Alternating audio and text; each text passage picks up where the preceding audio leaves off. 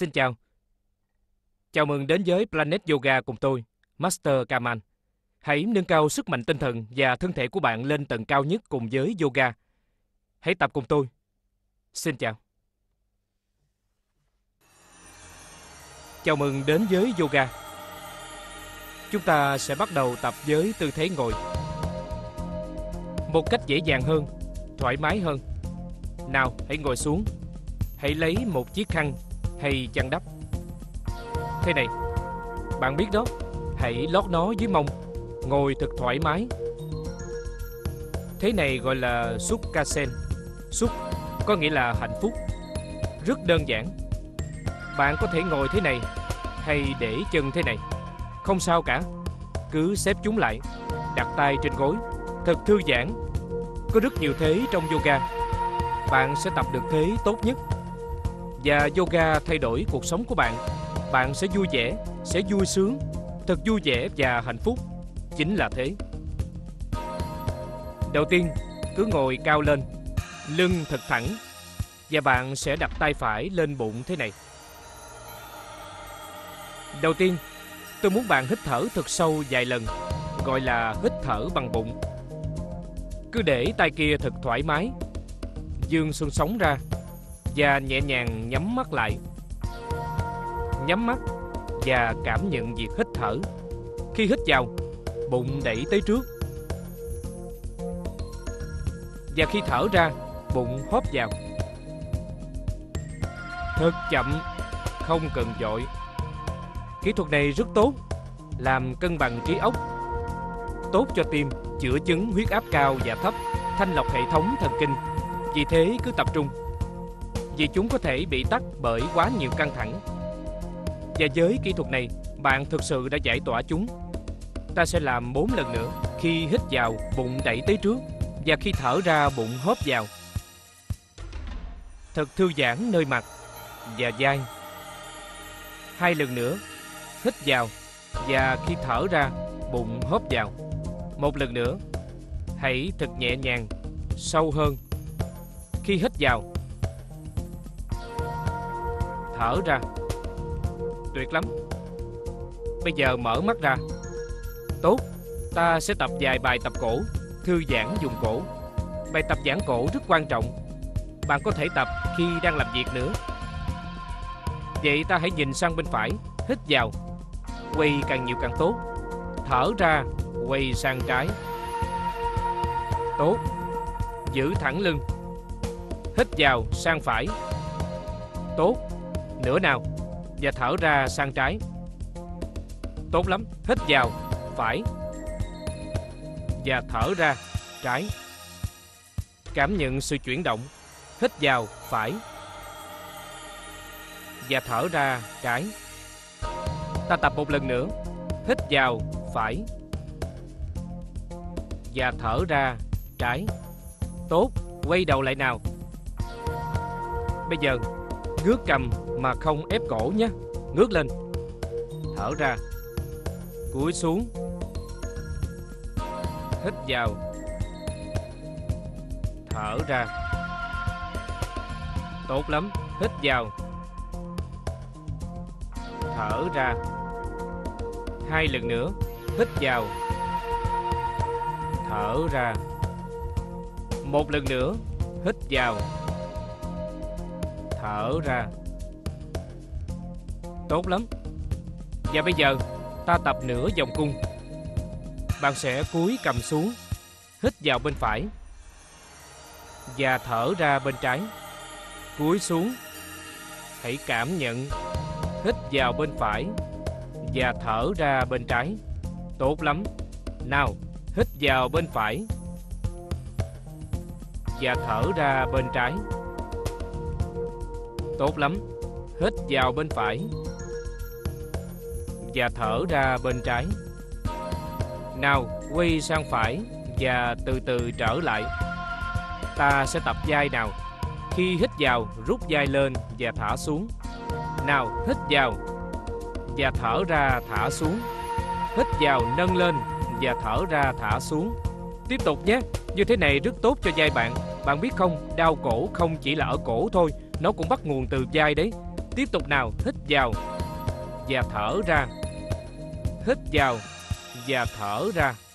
Nào, từ sau ra trước, hít vào và thả xuống. Hít vào cao lên, chạm vào tay và thả xuống. Hít vào và thở ra.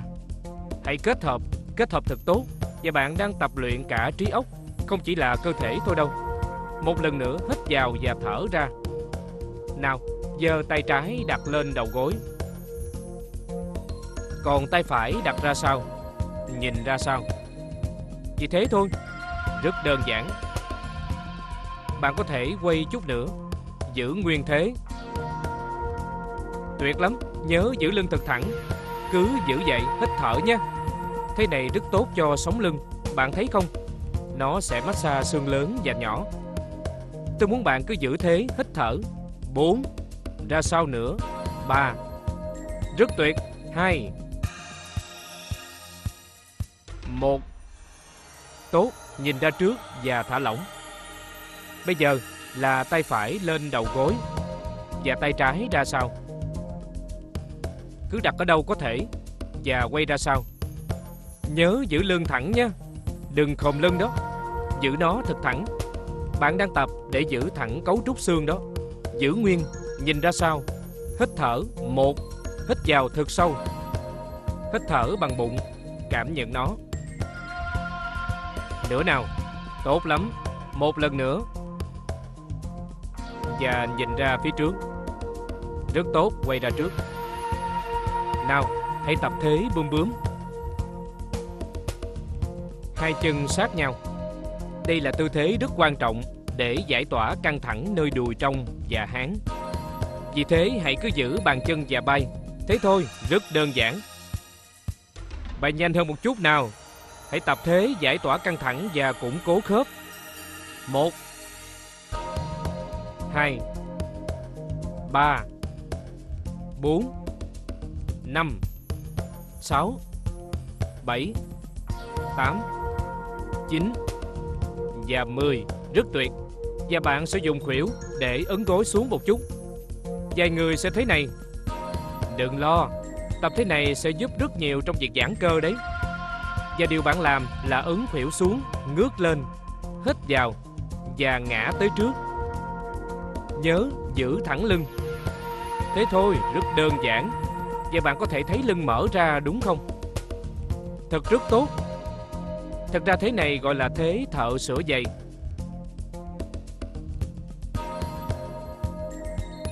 Ở Ấn Độ, thợ sửa giày ngồi tư thế này. Và nghiên cứu cho thấy họ không hề bị bất kỳ gì về đường tiết niệu. Bạn thấy không? Tin tốt đấy. Và tôi muốn bạn giữ nguyên thế này. Cảm nhận sự giãn cơ, hít thở, hít thở và cúi xuống một chút nữa. Cứ cố hết sức, không lo gì cả. Bạn đang ngồi cao lên và sẽ thực hiện dễ dàng hơn. Nào, cứ ngồi xuống và tập. Không đau gì đâu. Nào, và hai nhịp thở nữa. Tuyệt lắm, một nhịp cuối và từ từ ngẩng lên. Thật là tuyệt vời. Nào, quay mặt về phía này. Ta sẽ tập vài bài tốt cho khớp nhé. Nào thẳng lưng. Hai chân hơi dang ra. Hai tay đặt lên gối. Nhớ giữ lưng thật thẳng đó. Và ta sẽ tập Buna Minasen. Lời chào với mặt đất. Dương cả hai tay sang một bên thân mình và chạm đầu xuống. Lần nữa, hít vào. Tay trên gối. Thẳng lưng. Trở lại. Và thở ra. Bên trái. Tuyệt lắm. Lần nữa, hít vào. Tay trên gối. Và sang phải. Tuyệt vời. Hít vào. Tay phía trước. Hít vào. Tốt và thở ra bên trái. Tốt, chạm đầu xuống nếu có thể. Vài người không thể thế này, chỉ thế này thôi, không sao, cứ tập luyện bạn sẽ làm được. Nào, cứ giữ thế, hít thở và giữ mông sát sàn, càng sát càng tốt. Nào, hít vào, lưng thẳng. Cô thấy thế nào? Phải thở ra, tốt, tuyệt lắm, rất tốt, hít vào. Rất tốt. Ta làm lần cuối, hít vào. Thở ra. Hít vào. Tốt. Thở ra. Bên này, rất tuyệt vời. Hít vào. Phía trước và giữ tay phía trước. Tôi muốn bạn cảm nhận phía lưng. Giữ lưng thật thẳng, ngồi thật cao lên. Và khi bạn thấy đặt tay thế này quá khó, bạn có thể đặt tay dưới gối thế này và giữ lưng thật thẳng. Tốt, bây giờ bạn ngồi được rồi đấy. Sẽ tốt thôi. Giữ nguyên thế này. Lưng thẳng, hít thở. Còn hai nhịp nữa. Còn một nhịp nữa. Và bây giờ sát hai chân lại với nhau thế này. Cong gối, đừng gần quá. Cách thế này. Đây là thế con rùa. Bạn có thể nói cách khác, đây là tư thế tốt cho người bị trẹo sống lưng, chứng thương lưng. Những gì khó chịu ở lưng sẽ biến mất. Và ngay cả khi bị đau lưng nghiêm trọng thì bạn vẫn tập được. Bây giờ bạn sẽ nắm bàn chân nếu có thể. Nếu không thể, tôi đề nghị bạn hãy ngồi lên khăn, lên khăn hay là lên chăn. Ngồi lên thế này sẽ dễ hơn. Ai cũng có thể làm thế này. Được không? Bạn sẽ hít vào ngước cầm và khi thở ra hạ khuỷu xuống, từ từ hạ đầu chạm xuống. Từ từ, không cần căng thẳng quá. Hít vào, ngẩng lên, tuyệt vời. Khi thở ra từ từ cúi xuống. Bạn cứ từ từ cảm nhận. Tôi không muốn bạn ép buộc bản thân. Hít vào, tốt. Và khi thở ra từ từ cúi xuống. Tốt lắm. Tôi muốn bạn giữ nguyên thế này và hãy cảm nhận bất cứ sự căng cứng nào đang xảy ra. Cứ để cơ thể mình tự hiểu. Hãy giữ nguyên thế này. Hít thở thật sâu, tôi sẽ trở lại ngay.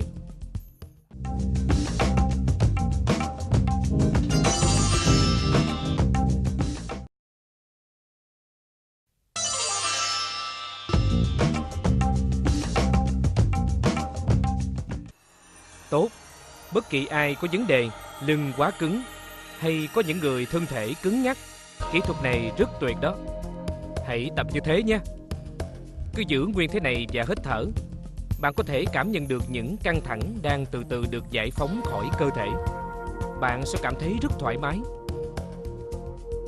Nào, bây giờ từ từ hít thở hai nhịp nữa. Hít thở thật chậm, không vội vàng, chậm hơn và sâu hơn. Cảm nhận xương sống, cảm nhận sự giãn ra. Khi bạn ngồi trên chăn hay gối, nó lại càng dễ dàng để tập hơn đó. Nào, bây giờ từ từ ngẩng đầu lên và ta thả lỏng nào. Rất tuyệt. Bây giờ tôi muốn bạn chống người lên bằng khuỷu. Rất tốt. Tốt lắm, cứ thế. Và giữ chân như thế này, hai gối mở ra. Nó sẽ giúp dẻo dai hơn. Nhiều người sẽ rất cứng chỗ này, nhưng bằng cách tập luyện, họ sẽ dẻo dai hơn. Cứ giữ nguyên thế. Hít thở. Rất tốt. Tôi muốn bạn cảm nhận hơi thở ngay chỗ này. Khi hít vào, bụng nâng lên. Và bạn luôn luôn phải hướng mình vào việc hít thở dù đang làm gì. Bạn đang hít thở thế nào? Rất tốt. Một nhịp nữa. Tốt lắm. Ta sẽ tập kỹ thuật tiếp theo. Nhấc chân lên thế này. Có thấy không? Như vậy rất tốt phải không? Điều bạn sẽ làm là duỗi chân phải sang bên nào. Tư thế này lại sẽ giúp mở rộng đùi trong, mở rộng vùng hông. Tốt lắm, bây giờ đổi chân. Rất tốt. Nào, bây giờ bên kia. Thế thôi. Bạn thấy không, rất đơn giản. Bên kia nào. Thấy không, cứ tập như thế tiếp tục nhé. Cứ tập thế, bạn sẽ cảm thấy cơ đùi quả thật dẻo dai. Tốt, cứ tập thế, tốt lắm. Bên trái nào, tốt, nữa nào. Phải, tốt, trái. Nào, giãn ra nữa, phải. Hãy cảm nhận sự giãn cơ nơi đùi trong. Trái, tốt, nữa nào, phải. Tuyệt vời, trái, phải, tốt. Tôi muốn bạn giữ nguyên thế này và cảm nhận sự giãn cơ, có được không? Cứ hít thở thế, rất tốt đó. Bạn sẽ cảm thấy đùi trong dẻo dai hơn. Nào, chuyển sang chân phải. Tôi cũng muốn bạn giữ nguyên thế này, hít thở. Khi bạn giữ nguyên thế sẽ cảm thấy các cơ đang căng ra. 5 4 3 2 Và từ từ thu chân lại với nhau Rồi hạ xuống từ từ Bây giờ tôi muốn bạn nằm ngửa nhé Đúng rồi, cứ nằm thế Và mở hai đầu gối ra vậy. Cứ mở ra như thế, thấy không? Ta sẽ tập nhiều hơn Để mở rộng phần khung chậu. Không chỉ là đùi trong, Mà cũng là khung chậu nữa. Bạn thấy không? Khung chậu không dẻo dai, Sẽ có nhiều thứ bị tắt Không nhiều năng lượng xuống được đấy. Thấy không? Đôi khi có gì đó bị tắt lại ở đây, Không tuần hoàn máu được. Vì thế bạn phải mở ra, Hít thở đẩy khí xuống khung chậu. Khi bạn hít thở, Hãy cảm nhận không khí đang xuống khung chậu. Cứ giữ nguyên thế hít thở nha. Cứ hít thở và giữ hai tay hai bên, Thư giãn hoàn toàn. Từ từ bằng cách tập luyện, Bạn sẽ làm được thôi. Có nhiều người sẽ rất cứng, Đùi trong rất cứng. Từ từ sẽ mở ra. Và vài người sẽ có đùi trong quá cứng. Lúc đó bạn hãy đặt một chiếc khăn xuống dưới. Bạn thấy không? Sẽ dễ dàng hơn đấy. Nếu bạn có hai chiếc khăn, Cứ đặt bên này một chiếc, Bên kia một chiếc Và sẽ giúp thoải mái hơn. Tốt lắm. Hai nhịp thở nữa là ta sẽ tập tư thế mới. Khi hít thở, Hãy cảm nhận hơi thở đi xuống sâu hơn nơi khung chậu, Thật sâu xuống. Khi hít thở, Hãy để cho năng lượng tuôn chảy. Tốt lắm. Một nhịp nữa. Hãy hít vào thật sâu hơn nữa. Rất tuyệt. Nào, Khép hai chân lại. Khép hai chân lại. Bạn đã khép hai chân chưa? Tốt lắm. Hai đầu gối sát nhau Và bạn sẽ duỗi chân trái thẳng ra. Đúng rồi. Mary, Cô nằm xích xuống tí nào? Đúng rồi. Nếu bạn trượt ra khỏi khăn hay chăn, Không sao cả, cứ để đó. Và bây giờ bạn sẽ duỗi thẳng hai tay hai bên mình. Thấy không? Chân phải cong, Còn chân trái thẳng. Nào, từ từ nhấc chân trái lên. Hít vào. Càng cao càng tốt. Đúng rồi. Rất tốt. Thế thôi, chạm sàn. Nào, làm lại, hít vào. Cứ thế thở ra. Tiếp tục nha. Các cô tập tiếp nha. Khi hít vào, giơ chân lên là bạn đã tập luyện khớp hông của mình rồi đó. Tiếp tục, hít vào. Thở ra.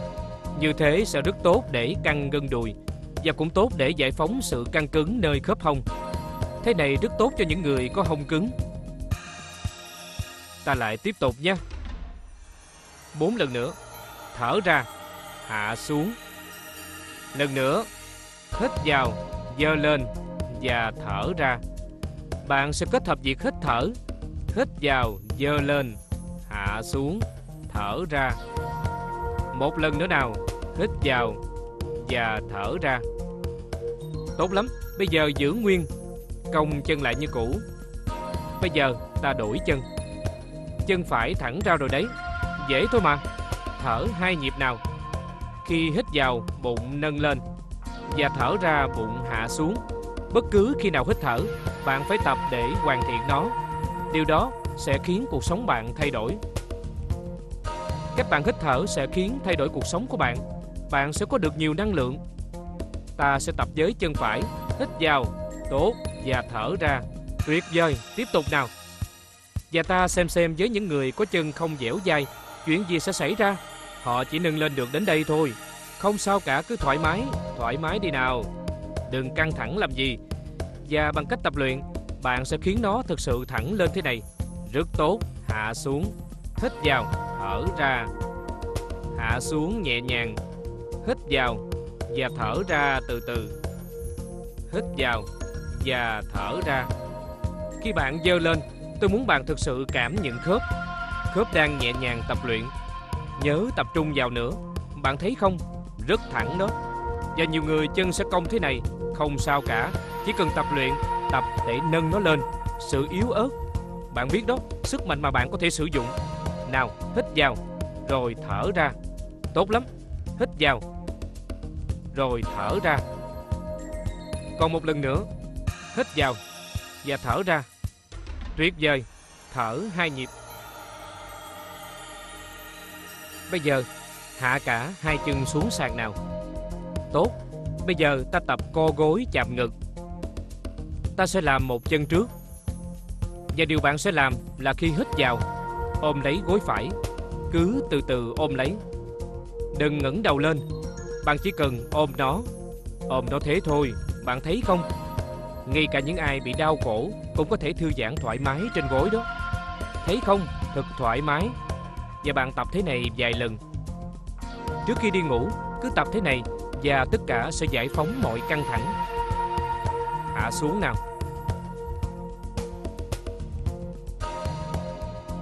Ta sẽ tập với chân trái. Hít vào. Chỉ cần ôm vậy thôi. Hít thở thật sâu. Rồi thở ra, hạ chân xuống. Tốt lắm. Hít vào. Tuyệt vời. Rồi thở ra. Tốt lắm. Hít vào. Kéo thật sát nữa nào. Và thở ra. Hít vào nữa. Thả lỏng mọi căng thẳng. Rồi thở ra. Có đôi khi người ta sẽ bị co cổ. Khi họ kéo chân thế này, cổ sẽ bị thế này. Không tốt tí nào. Bạn nên giữ cầm hướng về phía ngực như thế để cổ luôn luôn thẳng. Hít vào nên thế này và thở ra. Hít vào rồi thở ra. Rất tuyệt. Lần cuối cùng. Hít vào. Tôi muốn bạn giữ nguyên thế này và tập trung vào hơi thở. Khi bạn hít thở, bạn có cảm nhận hơi thở xuống bụng không? Bụng sẽ từ từ nở ra rồi thả lỏng. Bụng nở ra rồi thả lỏng. Thấy không? Đó là bạn đang giúp lưu chuyển khí. Nhiều người giữ khí trong lòng ngực ở đây sẽ khiến khó chịu đấy. Nào, nhiều người thở nông và thất thường. Vì thế hãy tập thở thật sâu. Khi bạn hít thở sâu và tập luyện sẽ khiến cơ thể phát triển hơn. Nào, bây giờ hạ xuống, chân trái hít vào và ôm thật chặt. Tôi muốn bạn giữ nguyên thế này, hít thở. Hãy cảm nhận hơi thở hướng về phía bụng. Rất tuyệt, hơi thở đang về bụng. Vì thế bụng sẽ từ từ nâng lên, chạm vào đùi và hạ xuống từ từ. Rất tuyệt đó. Hít thở. Hãy chú ý hơn nữa vào việc hít thở của bạn. Tốt lắm. Tốt. Nào, từ từ hạ chân xuống. Hai chân hơi dang ra. Và hướng mũi chân ra ngoài. Luôn thế, hai tay đặt hai bên người. Hít thở hai nhịp. Và ta sẽ tập một bài tập tiếp. Bạn thấy không? Khi hít vào bụng nâng lên và hạ xuống khi thở ra. Hãy tập trung vào đây. Bạn sẽ càng hoàn thiện nó hơn. Nâng lên, thở ra. Hạ xuống. Tốt lắm. Từ từ mở mắt ra. Ta sẽ tập bài tập tiếp theo. Ta sẽ tập một bài tập giúp cơ bụng khỏe hơn. Đặt tay dưới mông nào. Dưới mông ấy, bạn thấy không? Giống thế này nhưng đừng cong tay, thẳng ra. Và bạn đã thẳng ra được rồi đấy. Áp lưng dưới xuống để bạn không làm lưng bị thương. Nào, hai chân khép và nâng hai chân lên một tí, chỉ một tí thôi, thế thôi, thế thôi. Và cảm nhận cơ bụng đang co lại. Rất tốt. Tốt lắm. Hạ xuống. Nào, nhấc lên cao một chút. Mũi chân hướng về phía người. Rất tốt. Cao lên chút nữa, rồi hạ xuống. Tốt. Lần nữa nào. Nâng lên. Bạn cứ tập thế này từ 3 đến 10 lần. Và nếu bạn có thể giữ lâu hơn thì là ba là đủ rồi. Có được không? Hạ xuống nào. Và tôi muốn bạn lần nữa giữ lâu một chút. Bạn cứ ở đây cảm nhận sự co của cơ bụng, không phải đau lưng nha. Tôi sẽ trở lại ngay.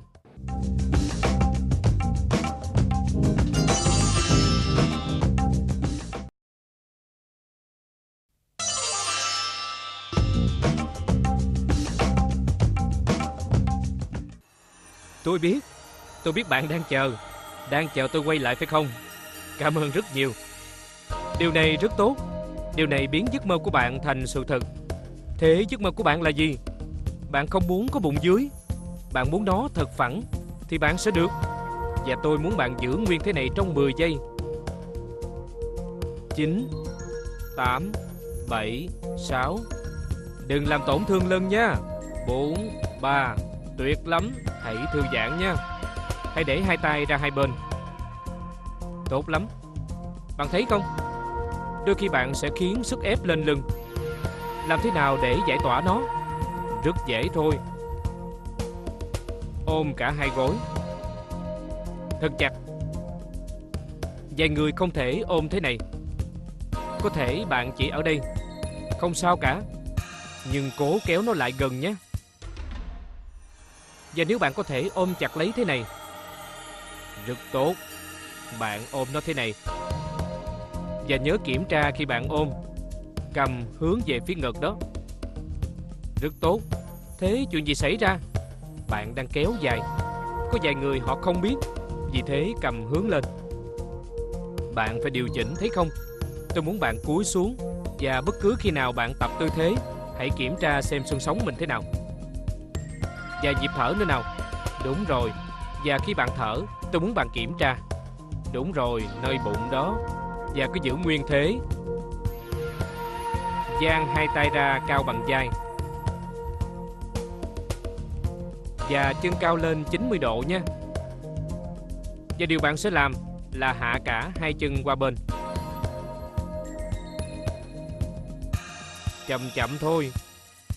Tôi nói từ từ mà bạn đã làm gì? Bạn thả xuống nhanh quá. Tôi muốn bạn điều khiển cơ bắp của mình. Nào, từ từ nâng lên. Rất tốt, và hạ xuống bên kia nào. Bạn thấy không? Bạn tập xương sống mình, và đôi khi vai bạn hở ra thế này. Không sao cả. Chỉ là vì vai quá cứng thôi. Không sao. Tập luyện sẽ giúp vai mở ra hơn, và chân bạn cũng sẽ thả lỏng hơn và nhớ giữ hai chân bạn càng khép càng tốt. Bạn tập thế nào nào? Tốt. Nhấc chân cùng nhau, từ từ thôi. Cô cảm thấy thế nào Mary? Tốt lắm, từ từ sang bên này. Và điều gì bạn không được quên, đó chính là việc hít thở. Mỗi khi bạn làm gì căng thẳng, bạn sẽ quên thở. Đừng nên nhịn thở. Khi bạn làm gì, hãy chú ý hơi thở. Vì thế bạn sẽ cực kỳ khỏe. Bạn sẽ có nhiều năng lượng hơn là làm chúng thoát ra ngoài. Có được không? Và bất cứ khi nào bạn làm gì, hãy nhớ hít thở. Lần cuối nào. Hai chân khép lại. Bên kia. Rất tuyệt. Tốt lắm. Nào, thả lỏng dài. Nhớ hít thở. Quan sát bụng. Quan sát xem nó nâng lên hạ xuống thế này. Có rất nhiều ở chỗ này. Nó sẽ giúp giải tỏa tất cả những căng thẳng ở những cơ quan nội tạng. Vì hơi thở giống như massage vậy. Nào, bây giờ từ từ nhấc lên. Rồi duỗi chân ra thật nhẹ nhàng. Hai chân hơi dang ra. Tốt lắm và nhớ hướng mũi chân ra hai bên. Luôn thế, hít thở ba nhịp trước khi ta sang tư thế khác. Khi hít vào bạn làm gì? Hít vào bụng nâng lên và thở ra, bụng hạ xuống. Hít vào, bụng nâng lên và thở ra, bụng hạ xuống. Thế này rất quan trọng. Trong yoga có đến 8 kỹ thuật thở chính, nhưng tôi muốn bạn cứ tập thế này, rất tác dụng đó. Tốt lắm, từ từ mở mắt ra. Và bây giờ, hãy nghiêng sang bên. Cứ xoay sang bên thế này. Cong gối Và bạn ngồi dậy. Nào, nhìn về đây. Và bạn sẽ làm gì? Hãy quỳ lên tư thế kim cương. Ta đã nói gì về tư thế này? Tư thế kim cương rất tốt bạn hãy dành một vài phút trong ngày để tập nó. Nó rất tốt đấy. Sau khi làm việc, sau khi ăn, ăn trưa hay ăn tối, thường thì các bạn ăn khá nhiều và khiến nó có cảm giác khó chịu. Và khi bạn cảm thấy khó chịu trong người Nên ngồi ở tư thế này Tôi đề nghị bạn ngồi thế này Hai tay đặt lên gối Từ từ đung đưa người ra sau rồi ra trước Thấy không? Ra sao? Giống như đung đưa ấy. Và thế này sau khi bạn ăn Hãy ngồi xuống và đung đưa nhẹ nhàng. Nó sẽ giúp massage vùng bụng. Trong 2 phút Bạn sẽ nghe thấy tiếng ro tróc Thức ăn vừa được tiêu hóa. Tốt lắm, một lần nữa. Đung đưa từ trước ra sau. Ra trước, ra sau. Tuyệt vời. Bây giờ ta từ từ quỳ lên tứ chi. Hai chân hơi dang ra. Và ta sẽ tập thế con mèo. Nào, Tôi muốn bạn giơ chân phải lên. Nhìn ra phía trước. Khi bạn làm như thế, Sẽ khiến xương sống dài ra, Làm chắc khỏe xương. Thực sự dương dài ra. Nào, Hít vào, Giơ chân phải lên. Và khi thở ra, Chạm xuống sàn nhà. Chỉ vậy thôi, rất đơn giản. Khi hít vào dơ lên. Khi bạn chuyển động, Tôi muốn bạn cảm nhận xương hông Và bạn hạ xuống. Hít vào, Chân từ từ lên. Thở ra, Hạ xuống. Tuyệt vời. Bạn thấy không? Khiến xương sống dài ra. Hít vào, Thật dài ra. Thở ra. Tuyệt lắm. Hít vào Và thở ra. Cô thấy thế nào? Hít vào. Bạn thấy không? Bạn cảm nhận sức mạnh của xương chậu. Rồi thở ra. Bạn thấy không? Mỗi lần bạn sẽ cảm nhận xương hông mình mạnh hơn. Thở ra. Hạ xuống. Hít vào. Nâng lên. Thở ra. Tuyệt vời. Hít vào. Nâng lên. Thở ra. Hạ xuống. Hai lần nữa nào. Hít vào. Và thở ra. Hạ xuống. Một lần nữa. Hít vào. Và tôi muốn bạn giữ nguyên thế này. Cảm nhận xương sống đang dương dài ra. Xương dài ra. Chân thật dài, Hồng khỏe hơn. Tôi muốn bạn giữ thế trong 10 phút. Xin lỗi 10 giây. 9 8 7 Cảm nhận sức mạnh nơi hông. Giữ nguyên tư thế. 4 3 2 Rồi trở lại. Hạ chân xuống. Rồi tư thế đứa trẻ. Từ từ trở lại tư thế đứa trẻ. Đây gọi là tư thế đứa trẻ. Và điều bạn làm là hãy chạm đầu xuống sàn. Như thế đó, Chỉ vậy thôi. Bạn biết không, Đứa trẻ, Tiếng Phạn là Balasen. Đứa trẻ trong bào thai của mẹ, Tôi muốn bạn cứ nằm thế này, Quên đi mọi thứ Và tập trung vào tư thế. Chỉ vậy thôi, Hít thở. Rất tuyệt, Chỉ cần thở. Rất tốt. Nào, bây giờ ngẩng đầu lên Và ta sẽ tập chân kia. May là ta có hai chân, duỗi chân trái ra. Và khi bạn duỗi chân ra, Nó sẽ kéo xương sống dài ra. Có thấy không? Bạn thực sự đang kéo dài ra đó. Khi nhấc chân lên, Cảm nhận nơi xương, Cảm nhận nơi khớp, Rồi thở ra, hạ xuống. Tốt lắm, Thở ra, hạ xuống. Hít vào, lên, Cảm nhận, Thở ra, hạ xuống. Một bài tập rất tốt cho hông Hít vào, Thở ra, hạ xuống. Hít vào, Hạ xuống. Hít vào. Ngay cả với những người không quen tập. Cứ tiếp tục vì bài tập này Rất tốt để giải tỏa những căng thẳng, Sẽ giúp hông không còn đau nữa.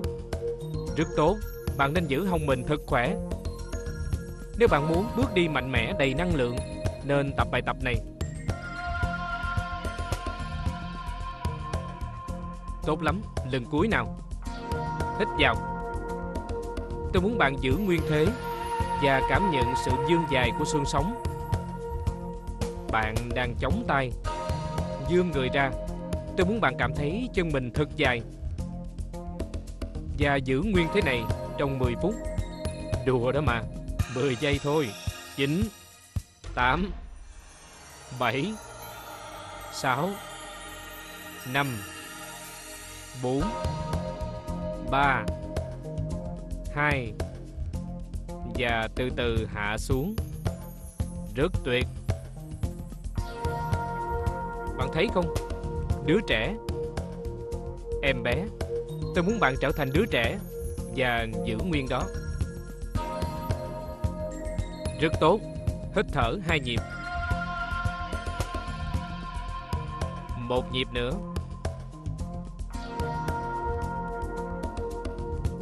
Nào, từ từ ngước cầm. Và tôi muốn các bạn quỳ lên trên tứ chi và từ từ nằm sấp xuống như thế đó. Đúng vậy. Tôi muốn các bạn đặt tay ra phía trước mặt như thế này này và cúi đầu xuống. Hai chân khép lại nhưng gót hướng ra ngoài. Khép chân nhưng hướng gót ra ngoài thả lỏng. Rất tốt. Giữ nguyên đó. Tuyệt vời. Đây là tư thế mà bạn có thể nằm xuống và thư giãn cùng hít thở. Giữ nguyên tư thế và điều chỉnh hai vai trái phải sao cho cân bằng và trí óc và thân thể. Thế này rất tốt vì khi trong yoga có những tư thế mà bạn nghiêng đầu qua bên thế này và hít thở, phần bên này sẽ được tiếp năng lượng. Và khi bạn quay đầu sang bên này và hít thở, bên này sẽ có năng lượng. Tôi sẽ chỉ cho bạn từng chi tiết, từng bước một. Cứ thực hiện từng bước một sẽ rất tuyệt vời. Nào, bây giờ cứ đặt đầu ở giữa và ta sẽ tập thế rắn hổ mang một cách nhẹ nhàng. Nào, hai chân khép lại, gót hơi chạm nhau, hai tay hai bên, hơi rụt vai, cúi đầu xuống phía trước và từ từ ngẩng đầu lên. Đẩy bụng xuống dưới tí nữa. Nhẹ nhàng nhấc vai lên, từ từ nhìn lên. Nhớ là đừng có ép cổ nhé, chỉ cuộn tròn một tí thôi. Và cuộn tròn trở lại nào. Hạ xuống tuyệt lắm. Hít vào. Tôi muốn bạn từ từ ngước lên. Ấn lòng bàn tay xuống sàn. Thấy không nào? Và từ từ hạ xuống. Tuyệt lắm. Lần nữa nào. Ngước lên. Tốt lắm. Thở ra. Hạ xuống. Hít vào.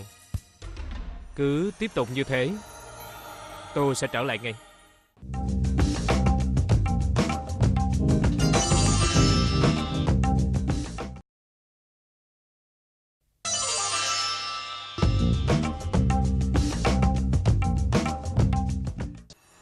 Cứ tiếp tục tập như thế nhé Rất tốt đấy Từ từ thở ra Rồi hít vào Tôi muốn bạn cảm nhận hơi thở Cảm nhận xương sống thở ra thật chậm và hít vào, thở ra.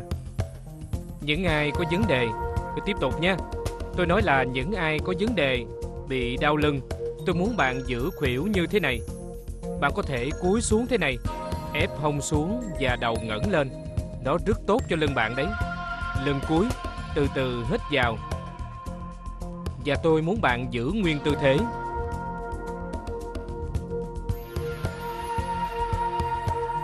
Những ai không thể, tôi muốn bạn hạ khuỷu xuống thế này. Có được không? Cứ giữ thế này, thật thoải mái, rất an toàn, rất tốt cho lưng. Bất kỳ vấn đề nào về lưng, tư thế này rất tốt. Đây cũng là tư thế của sự tự tin. Bạn càng mở rộng trung tâm trái tim, bạn thấy không? Trung tâm trái tim này, tiếng Phạn gọi là Anahachakra. Càng mở rộng, càng thấy thoải mái và tự tin. 5 giây nữa Cô cảm thấy tốt chứ? 4 Và cả cánh tay của bạn cũng trở nên thon thả đấy. Nào từ từ hạ xuống. Cứ đặt tay đó Từng tay một Thả lỏng và hít thở thật sâu. Cảm nhận hơi thở. Thật sâu nào. Hãy cùng đồng hành với bản thân Khi bạn tham gia vào lớp của tôi Tôi muốn bạn bỏ lại tất cả mọi thứ Không điện thoại Bỏ ra mọi thứ và hãy tập cùng tôi. Bạn sẽ cảm nhận vẻ đẹp đó. Bỏ qua tất cả mọi thứ, chỉ chú ý đến mình thôi. Bạn nên tôn trọng cơ thể mình, yêu thương nó. Tốt lắm. Bây giờ hãy tập cho phần lưng dưới. Nào, đặt hai tay sang hai bên người. Lòng bàn tay hướng xuống đúng rồi đó. Nhớ kiểm tra cầm. Thế đấy bạn thấy không? Bạn đang giãn người ra đấy. Những gì bạn sẽ làm là cứ thả lỏng nhấc chân phải lên khỏi sàn một chút.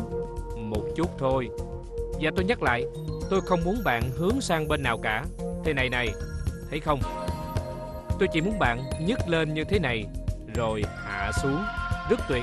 Nào, thích vào, chân trái lên một chút. Và hạ xuống, thấy không? Rất đơn giản. Làm lại nào. Phải, lên một chút. Và hạ xuống. Trái, lên một chút. Và hạ xuống. Rất tốt. Cứ tiếp tục nhé. Và động tác này rất tốt. Tốt cho hông, tốt cho lưng. Những ai bị đau lưng, tư thế này rất tốt. Nó gọi là Adusala Basina Ta cứ tiếp tục tập nhé. Và cảm nhận nơi khớp, nơi lưng khi nhấc lên. Rất tốt. Lần cuối nào. Bốn lần nữa. Xuống, phải, lên. Cảm nhận. Xuống, trái lên. Xuống.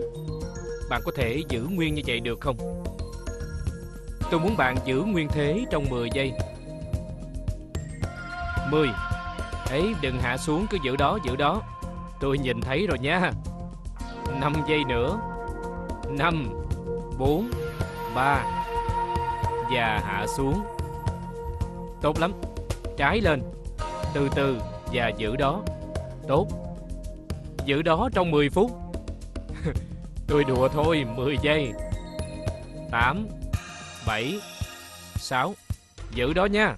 5, 4, 3, 2 và hạ xuống. Chỉ thế thôi. Nào, để tay lại như cũ. Tay này chồng lên tay kia. Thư giãn khuôn mặt. Thả lỏng người. Rất tốt khi ta nghỉ ngơi giữa những động tác. Để cơ thể bạn có thể hiểu được những bài tập rất tuyệt, hãy hít thở hai nhịp nữa. Cảm nhận hơi thở đó dài hơn, sâu hơn. Tuyệt lắm.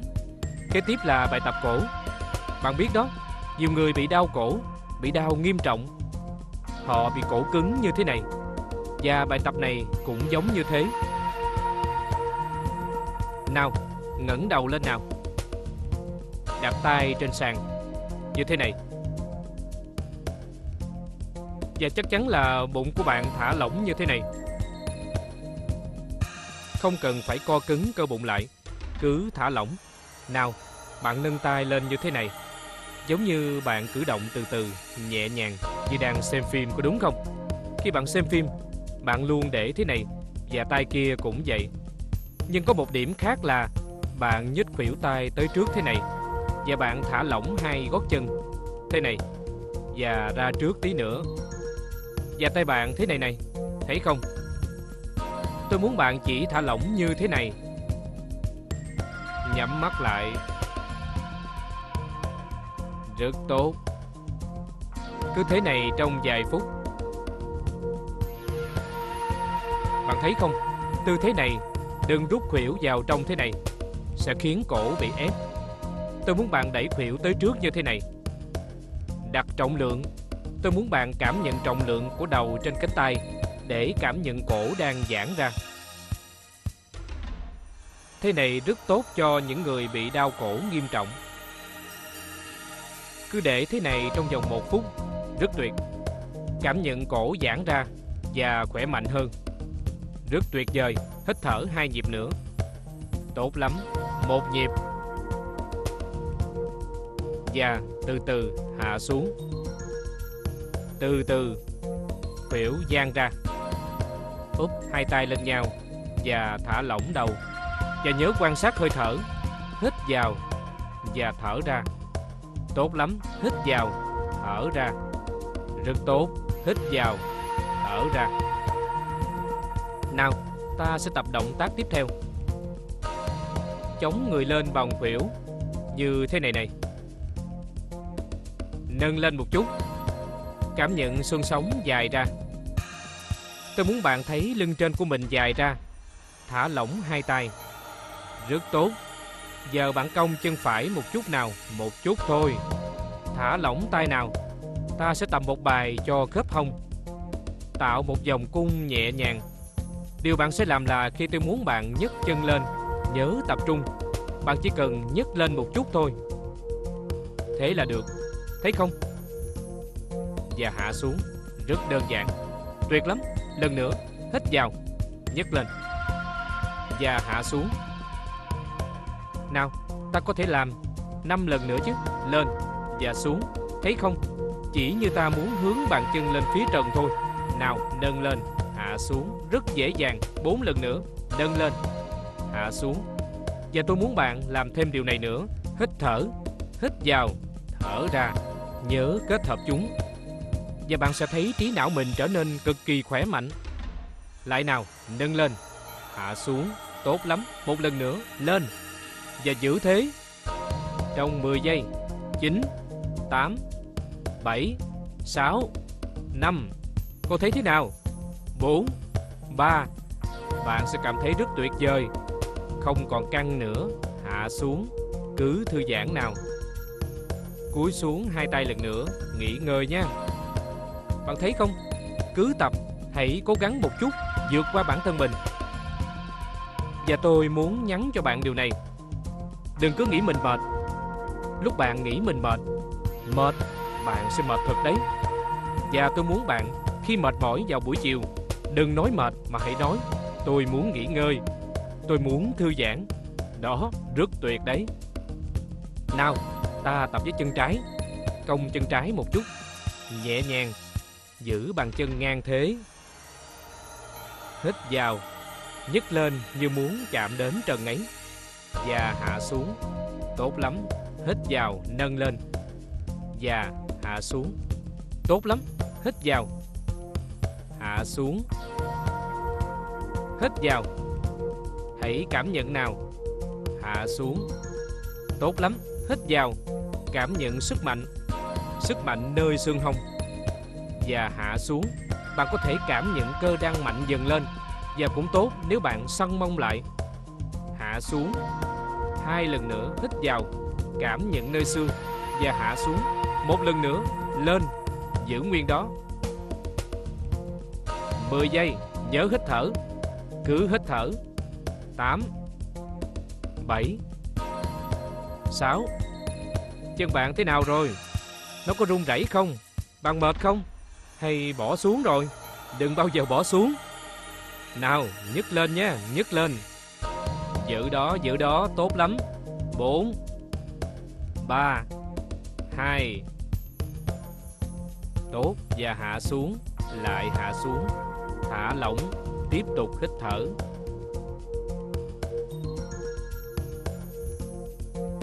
Một nhịp nữa. Tuyệt vời. Từ từ ngẩng đầu lên. Đặt tay thế này. Và từ từ quỳ lên trên tứ chi. Tứ chi. Và từ từ chuyển sang tư thế đứa trẻ. Bạn biết thế đứa trẻ đó rất tốt, Tuyệt vời. Cứ hít thở đầu cúi xuống, Tuyệt lắm.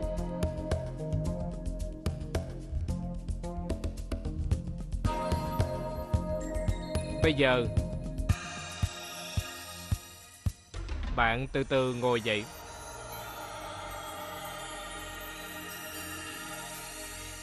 Nào Bây giờ ta sẽ tập một kỹ thuật thở. Rất đơn giản, Nhưng nó sẽ giúp thông thoáng trí óc, Đẩy chất độc ra ngoài. Có được không? Hãy ngồi lên khăn.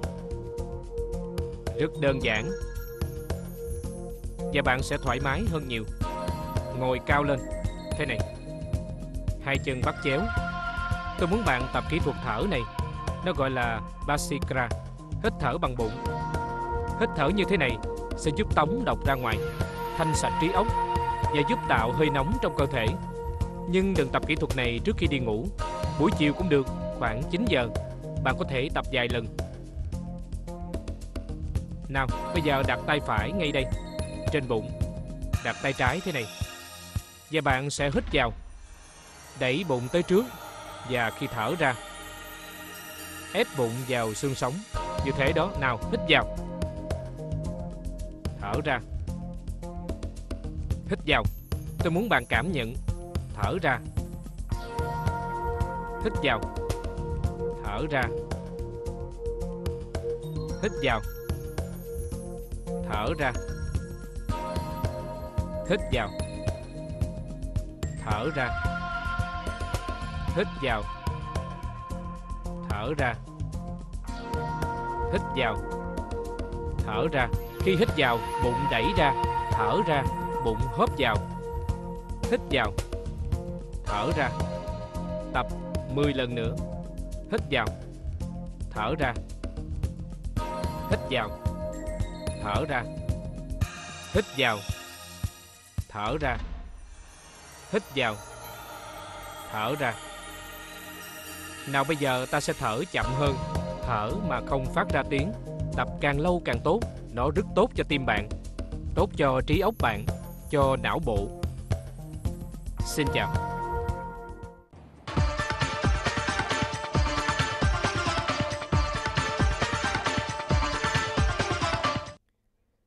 Sức mạnh tuyệt vời, sự linh hoạt tuyệt vời, cơ thể cường tráng, trí óc minh mẫn sẽ đến với bạn. Hãy tập yoga mỗi ngày. Xin chào.